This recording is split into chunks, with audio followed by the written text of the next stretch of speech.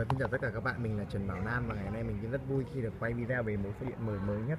Mẫu xe điện Aima Milan 2 và trước mặt các bạn là màu cà phê rất là đẹp đúng không? Ờ, và sau đây mình sẽ giới thiệu sẽ quay tất cả các chi tiết. Chia sẻ những kinh nghiệm chọn mua xe điện Milan 2 chính hãng cho các bạn được biết nhé. Milan 2 chính hãng thì có những dấu hiệu nhận biết cơ bản thứ nhất là động cơ bốt của Đức màu đen các bạn nhìn thấy đây. Chú các bạn chú ý phải là động cơ bốt màu đen nhé. Còn uh, tiếp theo là à, các bạn được nhìn thấy ở trên đây nữa là các dấu hiệu nhận biết ở đây là có chữ Milan này mặt đồng hồ chữ Milan 2 này Milan đấy này. Bạn nhìn thấy chưa? Rồi các bạn nhìn Aima mà bạn mua xe à? bạn vào trong nhà của mình không người thì là tiếp theo là các bạn nhìn từ ký này những màu xe rất là đẹp này.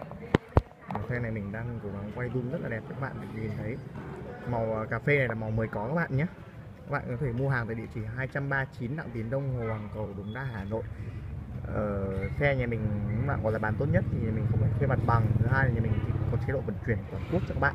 Các bạn có thể mua hàng nhưng toàn quốc và vận chuyển miễn phí đến từng địa chỉ các bạn này.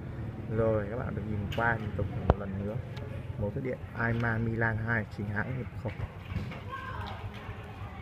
Tránh mua vàng nhà anh em biết lượng thì trước khi mua hàng các bạn có thể liên hệ trên đầu số 0169 822 418 để bên mình sẽ hỗ trợ các bạn nhé.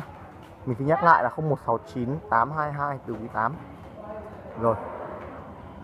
Cùng ngắm nhìn lại một lần cuối xe điện chính hãng Aima Milan 2 màu cà phê. Ok, xin chào và hẹn gặp lại các bạn.